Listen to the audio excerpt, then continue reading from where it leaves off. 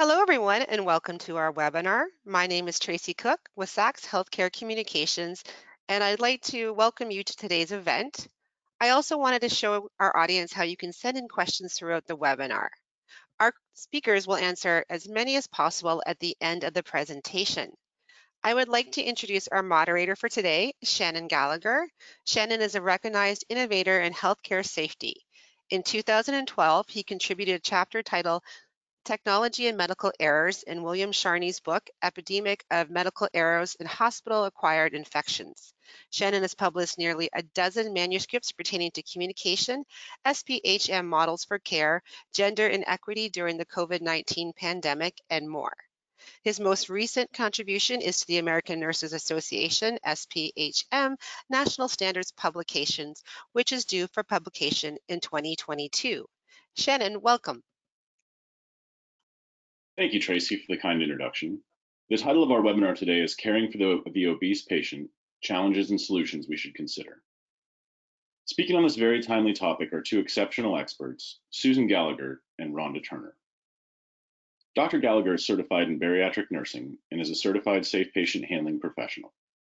She is immediate past president of the Association for Safe Patient Handling Professionals, associate editor for Workplace Health and Safety, AAOHN, and has been on the editorial boards of JWOCN, OWM, and the Journal of Bariatric Nursing and Surgical Patient Care. She serves on a number of international boards and is a recognized speaker on skin and wound care, outcomes, bariatrics, ethics, and risk and loss control across the globe. Rhonda is the nurse operations support specialist focusing on the medical surgical service line specifically, education, onboarding, and leadership at Banner Health.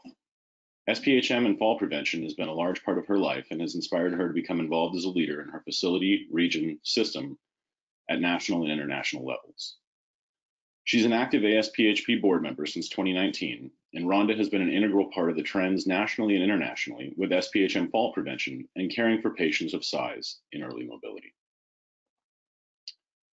Our speakers disclose no relevant financial relationships and we do offer continuing education for nurses and respiratory therapists for this presentation. A link to obtain credit will be available at the end of the webinar, and this educational activity is approved for one contact hour for nurses and respiratory therapists.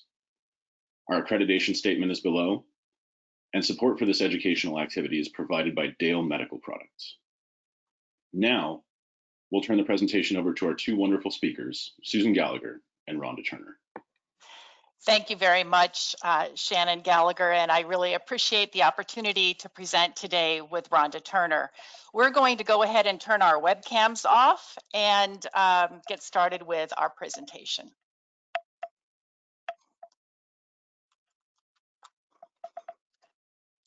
So with that said, these are the learning objectives that were attached with the invitation that was sent to you. However, what we'd like to do at this point is to talk about, um, just to take a minute to explain these a little bit more fully. This presentation will look deeper into these opportunities by first describing the prevalence of obesity in the general population and then in healthcare settings. Trends will be presented as they relate to pre-planning for reasonable care across practice settings. And despite an awareness of wheelchairs, walkers, commodes, bed frames, support surfaces, we found that other size appropriate devices that support safe care are often overlooked, and we'll be talking about those. You know, it's very interesting because as Rhonda and I prepared this uh, presentation, we felt that it was it, it really felt like we were changing lanes a lot. And that's the reason why we've had this theme of the road is because we're going to cover a lot of information. We're going to cover it very quickly. And if you have questions or ideas at the end, I really, we really encourage you to um, send in those questions. And if you have additional questions, never hesitate to um, contact us. So what we also want to do is we really want to talk about the relationship between obesity and COVID-19, and that's woven throughout the presentation. So that's what we're going to start with is these lessons learned in the global pandemic. And so we'll go back one slide because we're, we're there we go, that's perfect. So a number of lessons have been learned and Rhonda's going to talk with us a little bit about those. Yeah, we have learned so much since 2019 to 2020, and we have much to learn. Definitely seeing obesity on the rise for, I think, of multiple reasons. And I've done some studies within my own facility and that demonstrates that it's not just COVID. So I appreciate um, what we're the how Susan presented. Um, we're going to be changing lanes a lot. When we want to go in, we want to do uh, comprehensive care, uh, and really, it's taking care of multiple things at one time when we're caring for patients at the bedside. Exactly. And before we move to the next slide, I just want to talk about the evidence that tells us that there is a relationship between obesity and severity of illness associated with a COVID-19 infection. And there are a couple reasons that we think that this is uh, happening. The first is perhaps facilities just do not have pre-planning in place, and there have been delays in equipment access, diagnostics, and treatment. The second reason has to do with, you know, a person with a high degree of adiposity is in a chronic hyperinflammatory state. And when the body is exposed to further inflammation or infection, it responds with what has been described as the cytokine storm with increasing frequency and severity. And so we're going to share now what some healthcare professionals have told us about the challenges that they see in the uh, COVID pandemic. And we're going to share some of those lessons learned with you. So these are the areas that we want to talk about right now. And this is our first big lane change as we're going to jump right into this. And so we want to do it rather quickly. But the um, first lesson learned had to do with the challenges in pronating the person who was not only immobile, but who was also categorically obese. And the first thing I wanted to share, and then I'll be interested in what Rhonda has to share because she's got some great ideas as well. But the first thing I wanted to share with you is that the Association for Safe Patient Handling Professionals, ASPHP, which I will make reference to at least three times in this hour, has a free uh, COVID-19 toolkit. And within that toolkit, there's information for you in terms of uh, safe ways to pronate certain types of patients. Also, there are healthcare facilities that have posted some really great uh, tools for you, and your vendors have that as well. Rhonda, share with the group a little bit about what Banner has done in terms of safe pronation. So we have a very engaged, proactive um, unit-based council.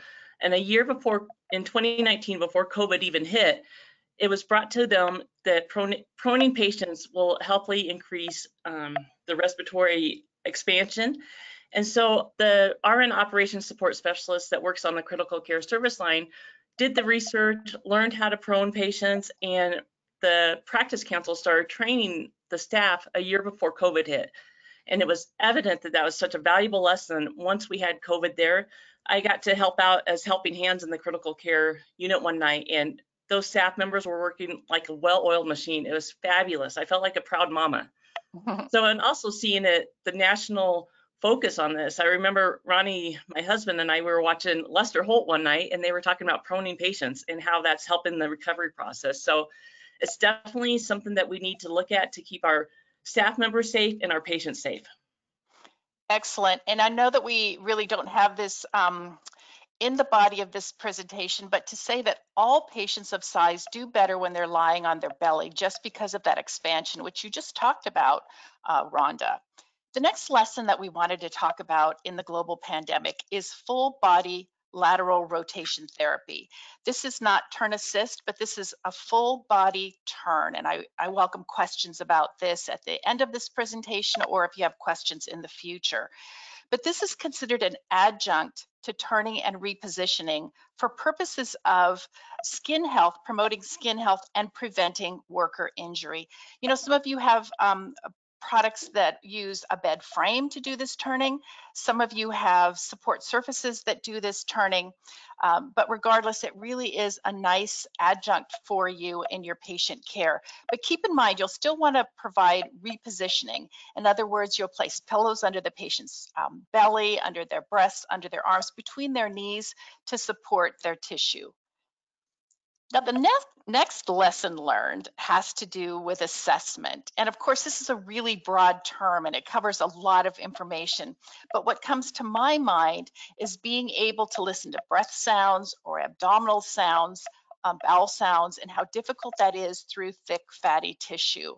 And so that has been problematic. And I wonder, Rhonda, what are your thoughts about that? Has Banner done some something interesting or what are your recommendations to really look at assessment and how we can overcome some of these barriers? Well, definitely um, respiratory wise, there's some great stethoscopes out there that enhance the hearing. So I encourage to at least have one available on each unit, um, just so that we have that access. Because typical the, the normal stethoscope just doesn't quite cut it, and you definitely want to get a clear assessment. We also include the mental status of the patient. Please don't forget about that, especially during these times when everyone is so emotionally um, stretched. It's such a key piece. And then we can talk later about the four eyes skin assessment that we do, Susan. Yes, absolutely. We, we will talk about that. Um, let's talk about that right now. Just move order Okay. a little bit. You know, when we talk about wound care, and we'll come back to diagnostic studies, but when we talk about wound care, we think about how important it is to look between skin folds and um, uh, and then also um, the buttocks area because we know that pressure injury does not occur on the sacral area of a person with size, and we talk about that in a, a few times within the context of this presentation. And um, it really does develop over the buttocks, not the sacral area. Uh, and then we're going to talk a little bit about medical device related pressure injury and how that's so much more prevalent uh, in the presence of obesity.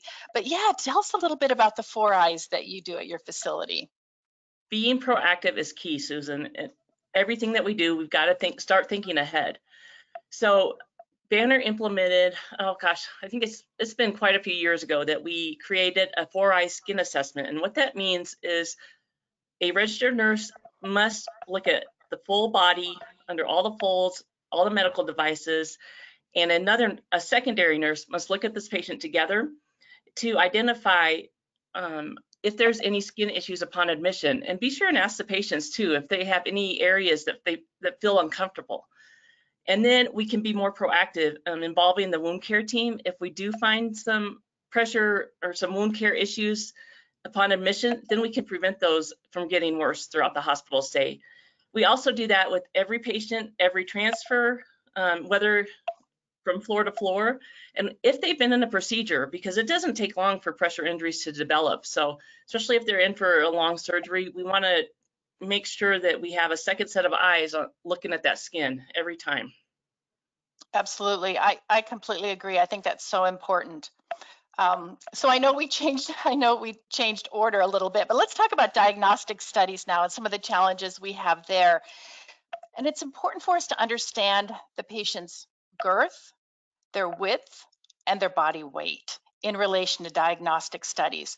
And sometimes we send patients down for exams and the exams can't be accomplished and it's very frustrating for everyone. So I think Rhonda, you're gonna talk about gap analysis a little bit later on, but it's so important to recognize that in the equipment that you have in the diagnostic areas, what is the, the bore size or the girth uh, for certain types of diagnostic um, studies? And then what about table weight limits and then also table widths? And so these are all really important. The important thing about weight limits is not only um, getting the patient on, you know, onto it, but it's to be able to move the tables uh, in those diagnostic areas. Do you do anything special with diagnostic studies, Rhonda? I completely agree. It, I think using simulation, if you do have a bariatric simulation suit, you can try that. Um, and again, being proactive, like knowing your equipment before the patient goes down for the test and finding out um, that they can't fit or something doesn't work right. It's uh, just it puts the patient in danger as well as the staff. So just know your equipment ahead of time. Yeah, yeah. And that kind of segues to intubation. And before we talk about the prevalence of obesity in the general population and in healthcare facilities, I want to talk about intubation. I want to talk about two different elements of that. The first is please have an anesthesia professional lead your team to identify whether or not you have proper intubation tools, if you have proper training, documentation, and follow-up. And this would not only be in your adult population, but your children as well. We have a number of children over the age of 12 years old who can be upwards of 200, 250 pounds. And because of their very short stature, many of them, and many of them carry their weight around their neck, intubation can be extremely challenging if your team is not prepared for that. The second thing I want to talk about is the tracheostomy tube. And I, again, I, I can say we talk about this throughout the presentation, but it is a lesson that we learned through the global pandemic. And that is, you know, a lot of patients will have their trachea deep within fatty tissue around the neck. And so the surgeon will have to create a pretty significant surgical wound even to identify the trachea. So you've got a patient who's got a large wound who's got the tracheostomy tube and then has those tracheostomy tube ties that can burrow into the soft tissue if the ties are made of the textile or the linen. So we have a combination of issues that can happen around this respiratory care. And we're going to come back to this in a little bit. But now we're going to talk about the prevalence, um, increasing prevalence of obesity in the healthcare setting. So interesting point. Um, partnering with your data informatics team is a, such a valuable lesson. Uh, in my journey, my 35 year journey in healthcare, I had the opportunity to work as a quality improvement specialist for a year, and it really opened my eyes to how much data can impact the outcomes. So knowing how to get that data is such a important fact. It helps you to be proactive in looking at the trends and then for instance, I created a patient weight and height report so I could look at the BMI trends, and I have that information to share with you. But also, being in tune with your frontline staff. If you have a solid culture of safety, your staff are going to come to you and tell you um, what they're seeing. They're going to tell you we're running out of equipment. So ask them, and that's kind of what sparked my um, interest in seeing where our trends were. Because definitely more staff are saying we're seeing more patients that are heavier and it's just we need more um, support for that. Did you have anything else to say about that, Susan? Sorry. Just to say, oh no, that's fine. Just to say that um, it's really great to be able to identify from an informatics perspective the prevalence of obesity in your particular health setting. But the key to that is intersecting that with mobility level. And I know Rhonda's going to talk about this in a little bit, but you may have a 700 pound person who's completely independent. And the care challenges are really the 300 pound person who's completely dependent. So if you can identify a way to intersect mobility with what your findings are uh, in your electronic health record. But Rhonda, you're going to share some data with us, aren't you? I am. So I looked started with 2021 um, January through August, and I realized during that time frame we had 754 patients that were greater than 300 pounds admitted to our facility, and we are about we are licensed for 225 beds. So this includes the patients that came through the ED that were admitted, and also our inpatient setting. And then I started going backwards, looking at the data. In 2020, we dropped to 642 patients that were over um, 300 pounds. But back in 2015 and 2016, we were around 400 to 450. And what was interesting, the jump from 2017 to 2018, I'm not sure what happened there, but um, we had a 63% increase in patients over 300 pounds coming to our hospital. So you just think about all of that, that everything that that entails, like um, for staff injury, patients' needs, and how we need to adapt our own um, healthcare setting. What was interesting too is their BMI went down. I did an average height, uh, very, very um, about 10 different samples throughout that time period, and the average height was about 5.8, so 5 feet 8 inches. And that's how I estimated the BMI. So from um, 2014 to 2021, we went from 54.3 uh, BMI to down to 52.4. I just find that interesting. Susan, uh, do you see this around the nation? Because you have such a big umbrella picture of obesity with all the work that you've done and the trends. Right, so this is really interesting to me. Although I think if we map this out between BMI 30, which is categorically um, overweight, no, obese, up to, you know, a higher BMI, I think that two points in a BMI is not that much. Maybe we could even consider this stable. I don't know. What do you think, Rhonda? I, don't- it just was interesting to me. Mm-hmm. I don't know if the patients are coming in earlier or, I don't know. Yeah, that's very Definitely interesting. something to keep an eye on. Mm-hmm, mm-hmm, absolutely. Well, and one of the other thoughts I had was what if it was because of our increased um, surges in, oops, sorry, I got click happy there. Our increased surges with COVID, you know, and so as we measure our falls per thousand patient days, I took that same formula and put um, patients greater than 300 pounds over the thousand patient days and the same trend line. So we're definitely seeing an increase and this validates what we're seeing in the raw numbers. Mm-hmm. So we've got a lot to um, really pre-plan for. Mm-hmm. And that's really what we're talking about right now is, you know, how do we do that? What is reasonable accommodation and how can we pre-plan for that? And Rhonda, I know you've done a really great job with that. I know there are a lot of facilities that have done a lot of great work around pre-planning for care. But when we talk about reasonable accommodation, what we're really talking about is uh, can we provide a standard of care irrespective of a person's body weight, weight distribution, or level of mobility? And then the next question is how can we pre-plan for that? And um, you know, when we talk about demographics, I would like to share that you know, in 2020 was the first time that we saw increase in frequency and severity equal among men and women. Typically, we've seen increased frequency of obesity among women and increased severity among men. Um, and so that really helped, has always helped us in looking at our pre-planning, but now we're looking at, you know, both groups. And then we also say the issue with weight right now is as a result of the COVID-19, you know, there are those scientists who are talking about the COVID-29, and that's you know, the average person right now has gained about 29 pounds in the last 18 months.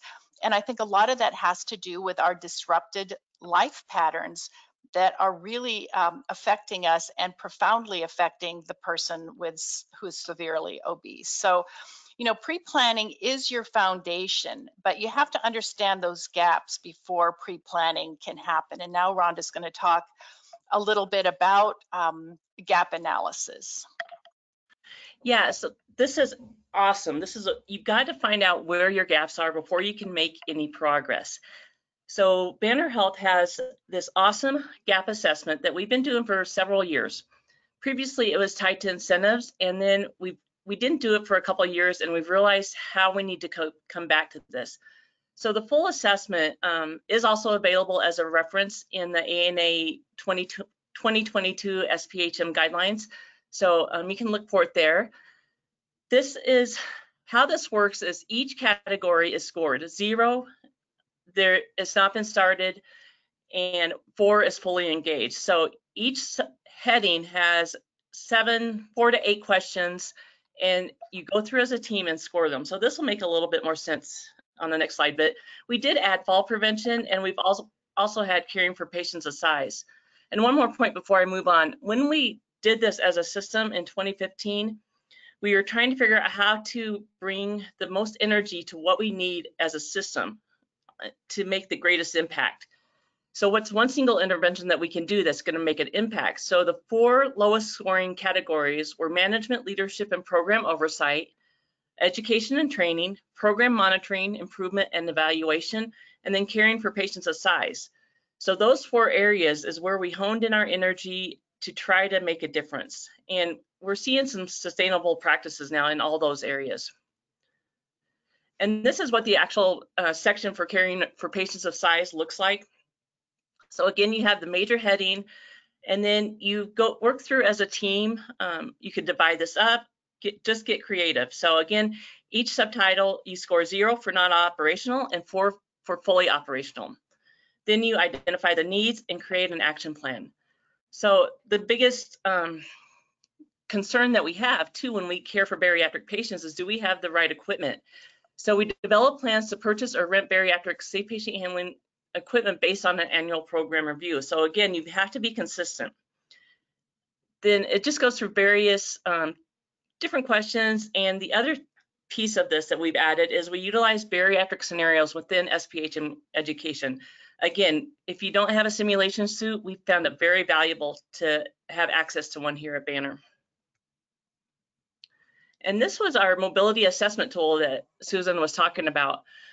And what it is, is a nurse-driven assessment to really identify what equipment to use to safely mobilize your patients. And they, the primary RN will do the assessment and it's four different steps. So for testing the core strength, you have the patient sit up and shake your hand across their, their um, body.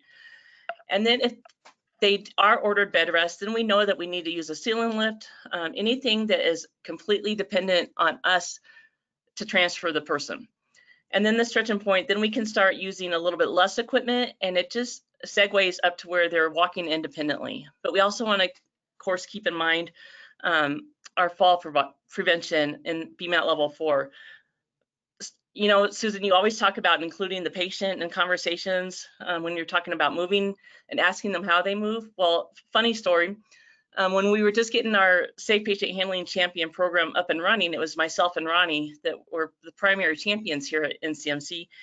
And so we um, started getting calls uh, from different units saying, hey, can you come assess this situation and see if we can do something different for the equipment?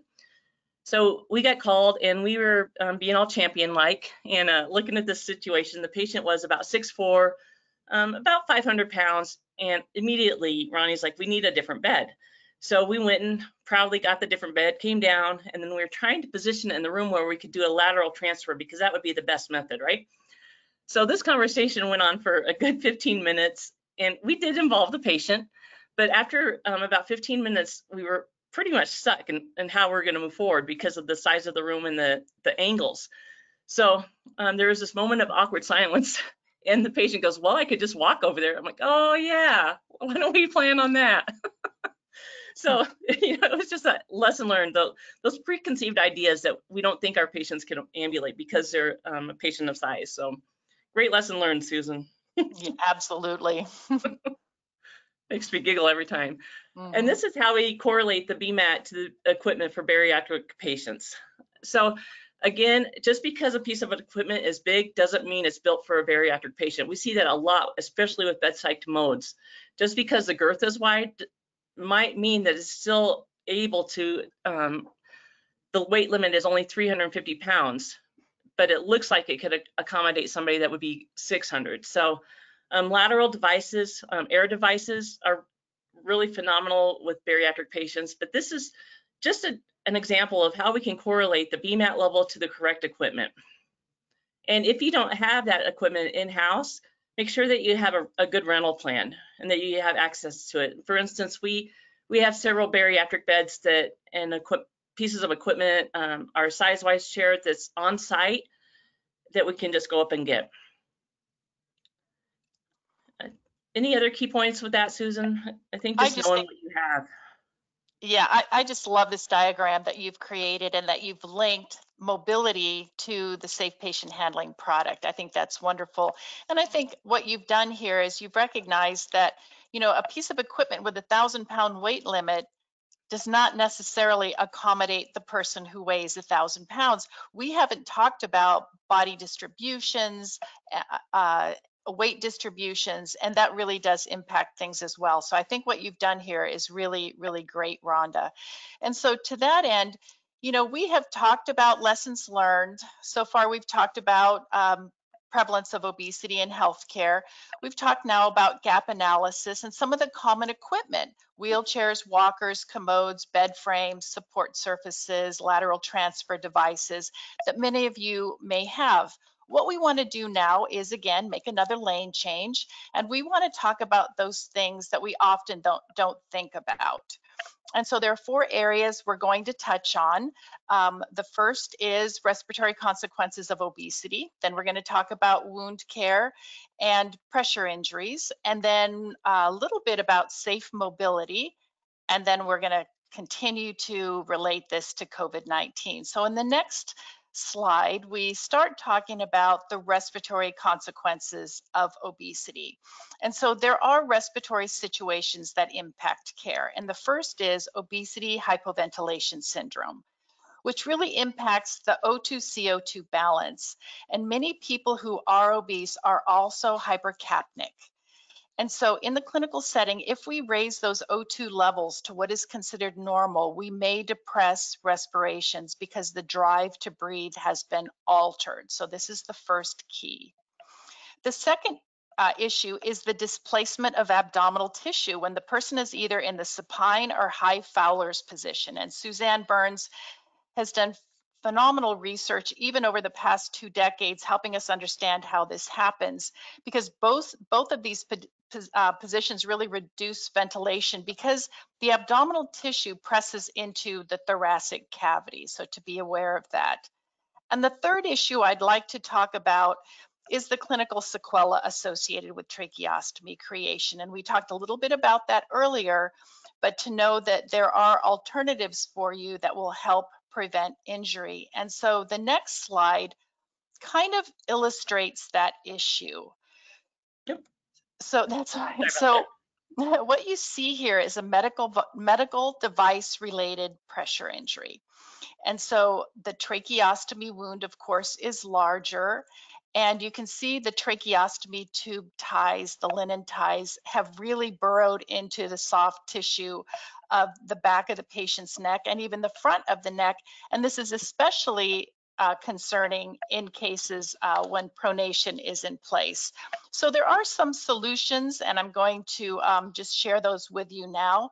Um, I wanna share how this um, tracheostomy tube holder can be a benefit to you. The, uh, it is 22 inches in length and it has a moisture wicking lining that helps reduce some of the skin breakdown associated with moisture that accumulates in the folds. And it's really easy for healthcare providers to apply. And those of you know that when you're trying to apply these in an urgent situation, they can really be stressful.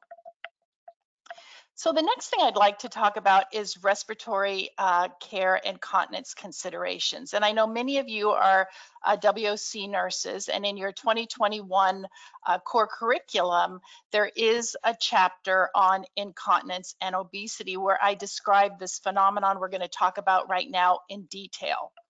The first is that 70% of individuals with a BMI greater than 40 uh, will have obstructive sleep apnea.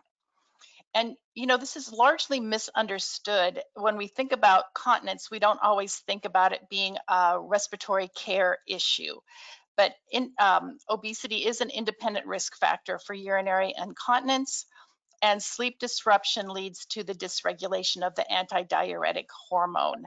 And a number of studies have shown that even addition of a CPAP can be a method to manage urinary incontinence. So really think about that relationship between respiratory professionals and your continence professionals. If you have any questions um, about this, I would encourage you to, again, um, ask at the end of the program, or you can always contact us.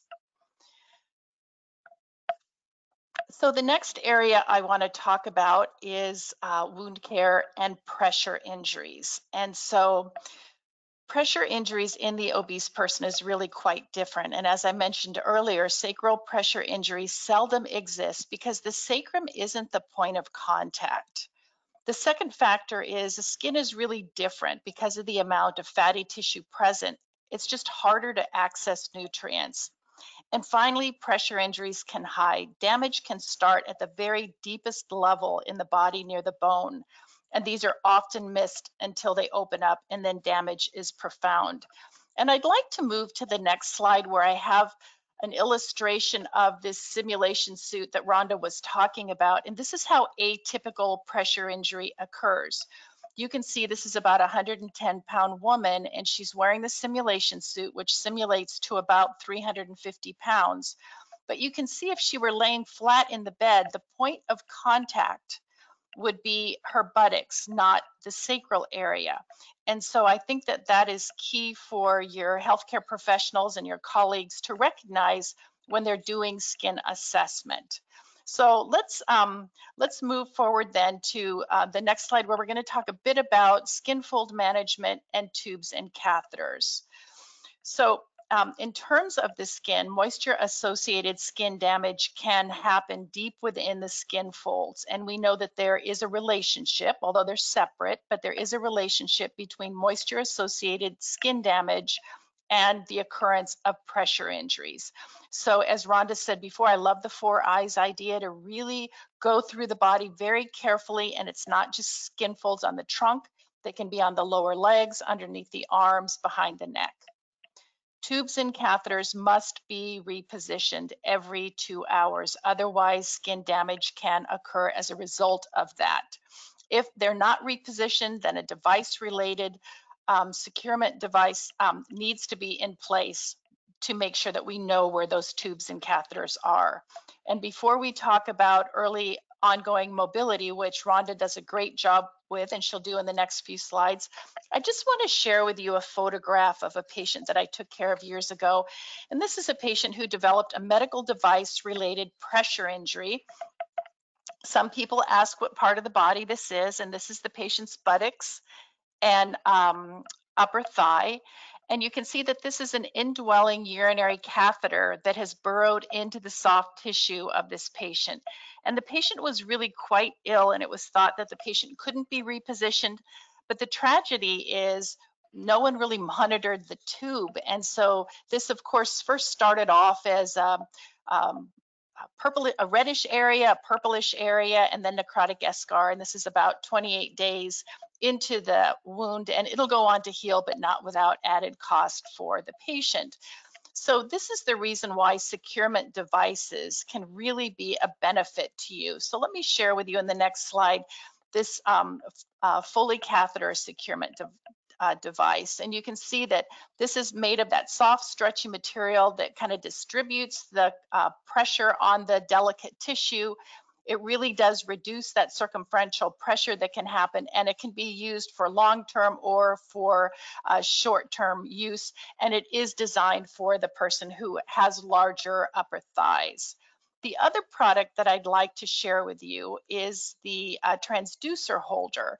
And sometimes we don't think about placing these on the patient's arms, but if a patient has a very large arm or there's a lot of tissue in the upper body, it just makes sense to use a um, securement device to hold these transducers in place. And, you know, they, um, they're really nice in that you can identify um, where everything is located. And they're great when you're pronating the patient to make sure that these um, tubes are in a place where they're not compressing on that delicate uh, tissue. And the last thing I want to talk about, I feel like I'm just going on and on, but we're going to bring Rhonda back here in just the next slide, is I do like to use the abdominal binder, uh, especially this binder that fits properly. And many of you remember in the day when we would take two or three binders and we'd either have somebody take them home and stitch them together, or we'd use um, safety pins to hold them together or place them on the patient and then use um, adhesive tape. But it is really nice to have a binder that completely accommodates the individual. What patients tell us is that they just feel more comfortable when they ambulate the first few times after surgery or after being sick for a long period of time because the binder, what they report is kind of hold things in place. What I like as a clinician is that there is provision for um, up to four um, uh, bulb drain collectors, which is really nice because otherwise when we're trying to mobilize the patient, there are all these bulbs hanging from the patient and that too can place the patient at risk for falls. So a lot of really great products that we sometimes don't think about, but that are available to us. And I agree. So I've seen so many patients come in, especially patients of size that have those dollar size moisture induced uh, pressure injuries strictly because of urine or sweat. So there's we could, um, there's a couple options. Of course, we want to get them up and moving and we want that, um, there is a risk if they're not able to be up and moving yet. But we could put a Foley in that does increase um, the, you know, the possibility of getting a catheter associated UTI and we definitely don't want to cause harm. So as soon as we start progressing in that mobility, we can get that catheter out and perhaps we could use a PureWick. I don't know if you guys have seen these, but again, somebody needed a solution. Um, this husband was caring for his wife who was incontinent at home. He took a water bottle, cut a slide, a slice of it out, stuffed it with gauze and hooked it up to his suction. And then he eventually got a patent for it. And now this is available um, within the healthcare system. And even I've seen it advertised on TV. So all those inventions that um, Susan was showing is just, I just wonder how many were created by bedside staff um, because we have a need. So anything we can do to protect the skin. I'm not, it won't advance. There we go. Okay, so talking about mobility, so important. Uh, I'm so excited about this latest strategic initiative Banner has implemented. This was a pilot that started um, back in 2019, and we came together as a system-wide steering team and developed um, an early mobility clinical practice that went live in January, of, no, December of 2020. And what we did is we took that BMAT level and we added some umph to it. So now we have clear interventions to every BMAT level because we don't want, um, we really didn't know what to do with that number. Like we knew how to, that it was how to safely mobilize the patients, but were we really mobilizing? So now um, we have metrics that correlate with the mobility that we're doing. And starting with BMAT level one is where we really partnered with the skin and wound team um, it's such a synergy going on right now within Banner with fall prevention, skin and wound, early mobility. It's pretty fabulous. So this is where we want to start with that range of motion.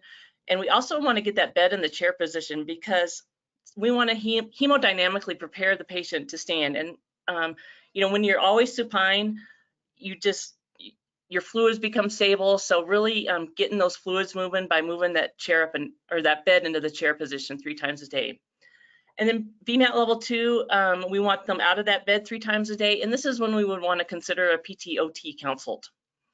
And then level three is when the magic starts happening. Whether you use um, safe patient handling equipment, we want that patient up and walking three times a day up to 100, between 100 and 150 feet. And then if they score a BMAT level four, we want them ambulating at least 100 feet, 150 feet or more four times a day. So we've already seen great progress. We have great um, metrics to follow the, the progression of this. And I'm just so excited to see where we're going to go. It really has already impacted the number of indwelling catheter days and length of stay. More to come on that in the national platform there. Floor rescue, I can't talk enough about this. Um, so when somebody falls, especially a patient of size, we've got to know what we're doing. And we have to have that confidence in our skills. And just like every other simulation, um, like we practice codes. So we want to practice floor rescue as if it is a code. So everyone has a role and they know what to do. Because if the patient is laying on the floor, especially a patient of size, feeling that pressure of anxiety, of fear, of how am I going to get up, um, we want our team to be confident so the patient feels secure. So we developed this floor rescue algorithm and it's been quite successful. So if the patient falls, we check for to make sure the scene is safe. The primary nurse starts assessing. If there's no injuries, then we proceed to get that patient up. Meanwhile, while that primary nurse is keeping that patient um, comfortable and calm and doing what they need to do, because that patient's not going to fall any further, right? So just do what you can to um, decrease that anxiety. The secondary caregiver is getting the right equipment.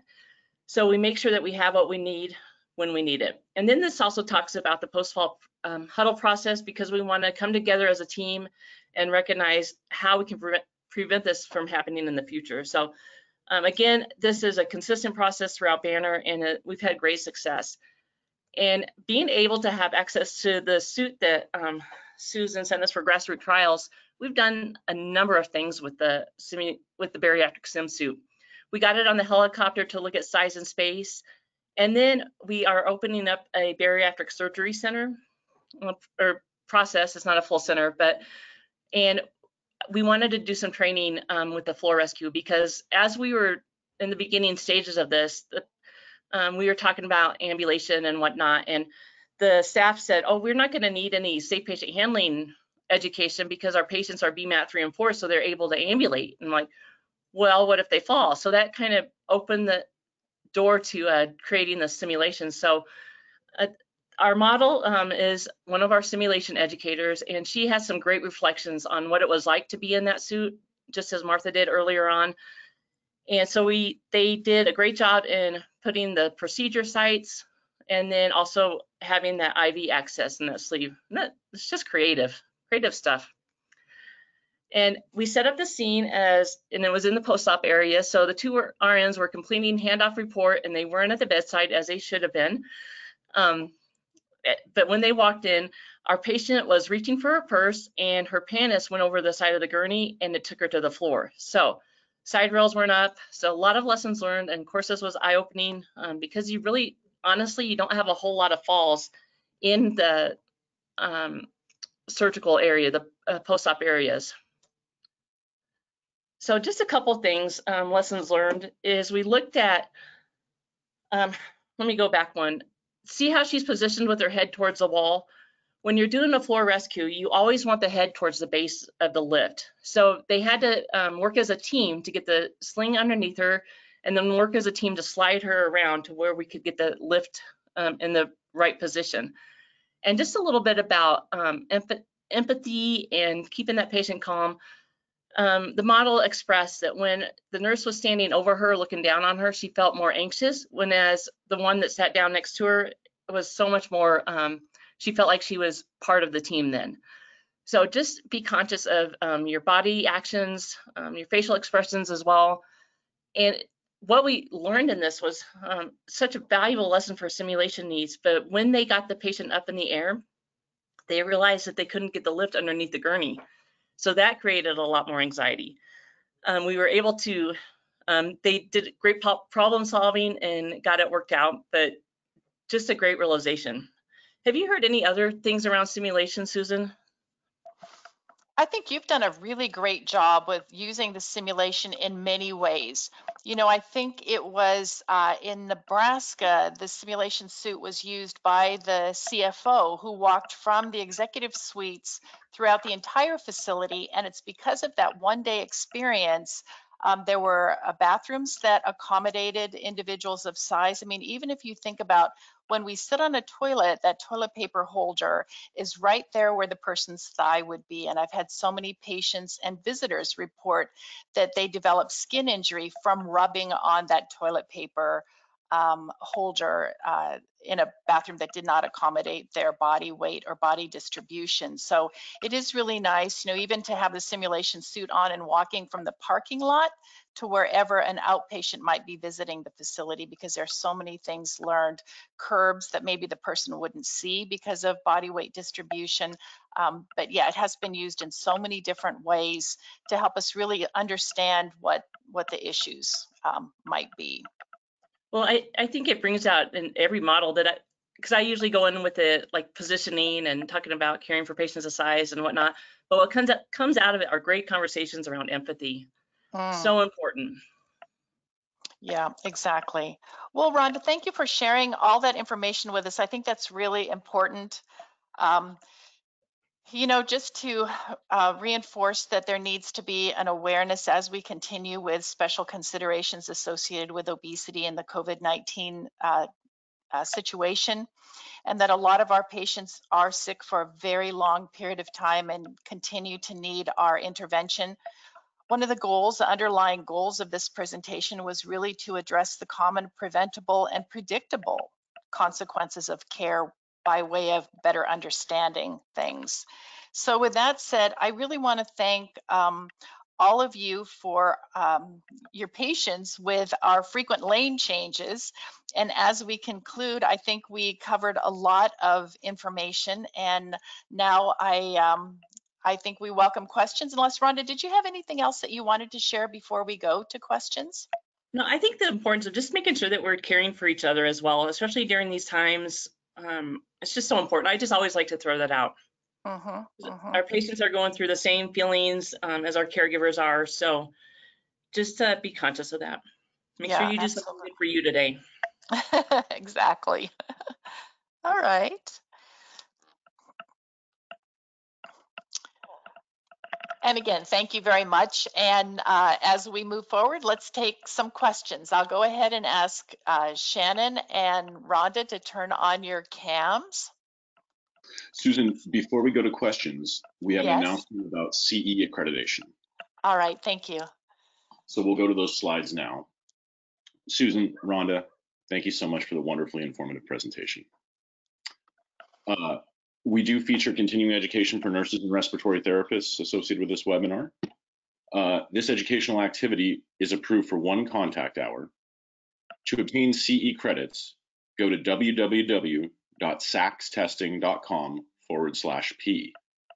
You will need to register at this site complete the evaluation, and upon successful completion, you will be able to print your certificate of completion. Support for this educational activity is provided by Dale Medical. We also have an archive version, which means an archive and on-demand version will be available on www.perspectivesinnursing.org, and an email will be sent to all registrants when this is available. So you will receive an email in your inbox with this link. The on-demand version will be accredited for nurses and respiratory therapists. And again, we're thankful to Dale Medical for their support. Uh, we do have some questions at this time. Uh, we do have some questions in the question box, so we're going to start out. I'll set down my script and we'll go to that. Uh, I'd like to begin with Gaston Cartagena, who asked, what are the key proven interventions to consider in a protocol to maintain skin integrity for obese patients? And Susan, I know that goes back to your slide about mobilizing early and often, but can you talk a little bit more about what those interventions look like? Right. So I think the very first thing, and and um, I would encourage you to contact me because I can send you ref references on how to put a pre-plan in place.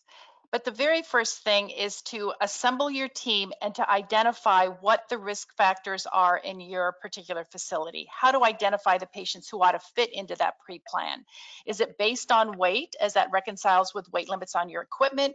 Does it have to do with BMI, body distribution? But to identify the patient and then to look at criteria to um, to address that?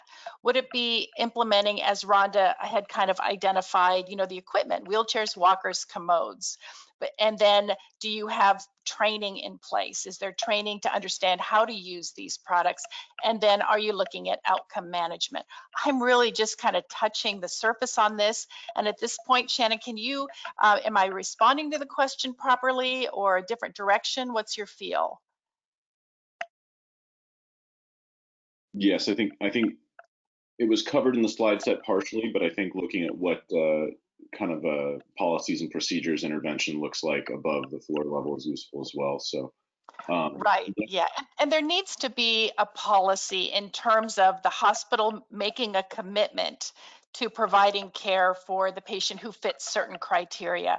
But then there need to be proc- procedures, and I say that's kind of your recipes for performing certain types of um, uh, care. I'm trying to say this really fast, but then you also have to understand what you have in your facility. So not just identifying your patient, but you know, we talked about diagnostic services.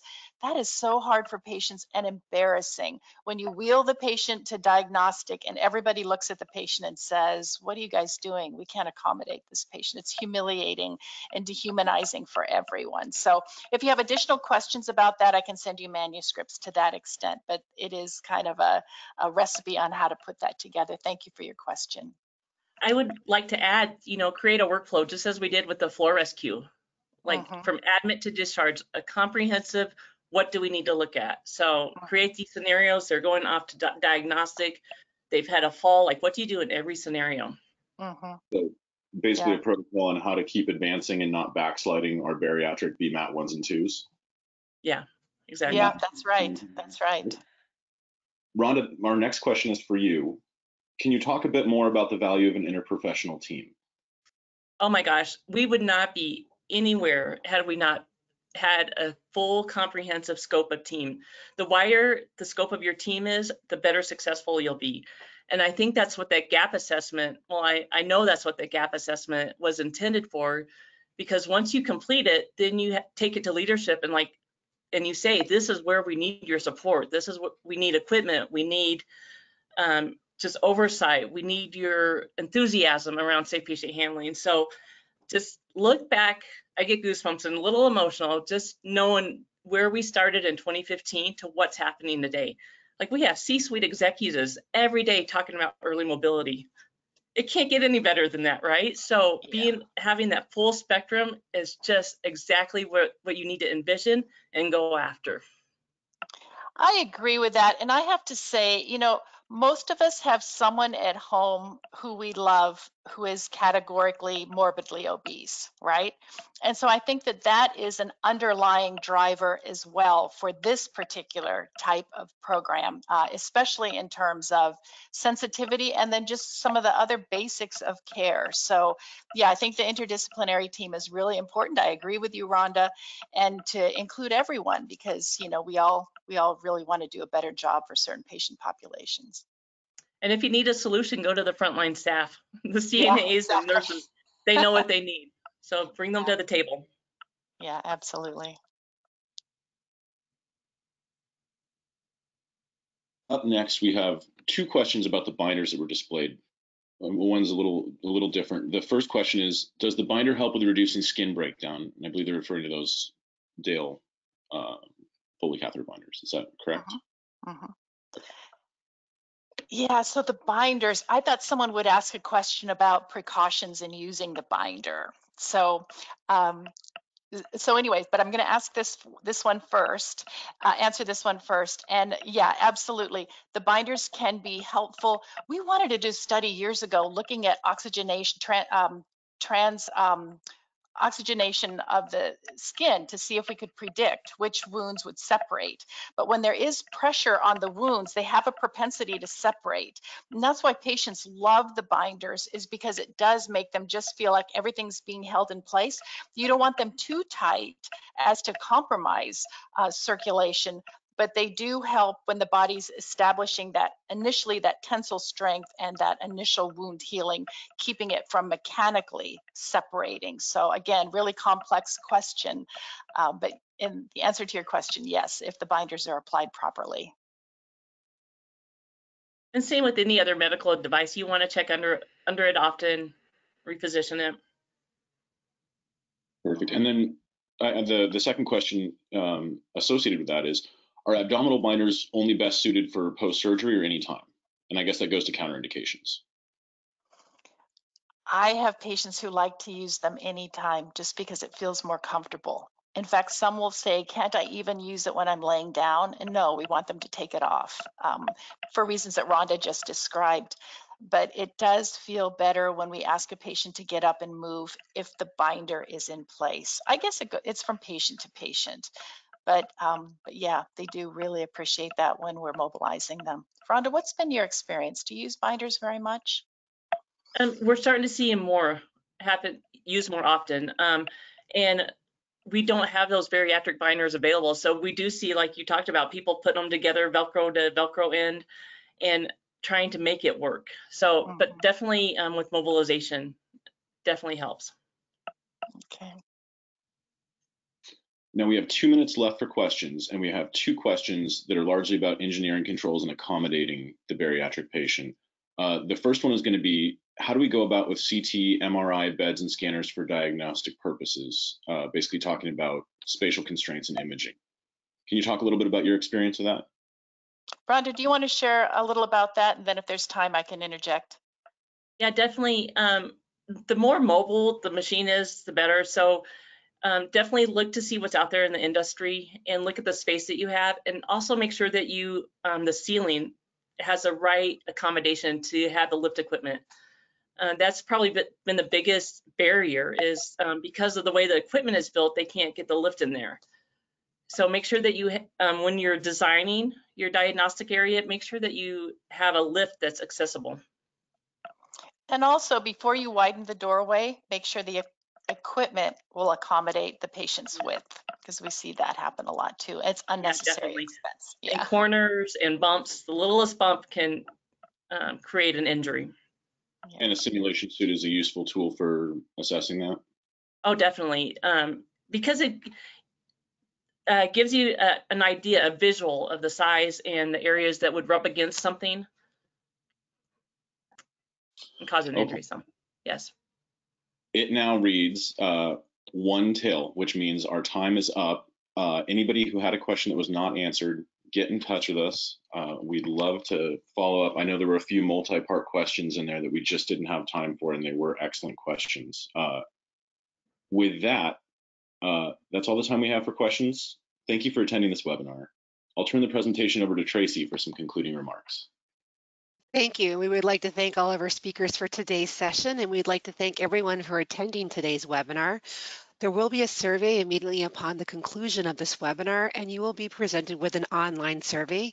Please keep your web browser open, and we appreciate your feedback, as well as a CE certificate of completion. In one hour following the conclusion of this webinar, you will receive an email with instructions and this link to obtain your CE credits. For nurses at our please visit www.saxetesting.com backslash P. And again, we'd like to thank everyone for joining and for our presenters today, and we hope you have a great rest of your day.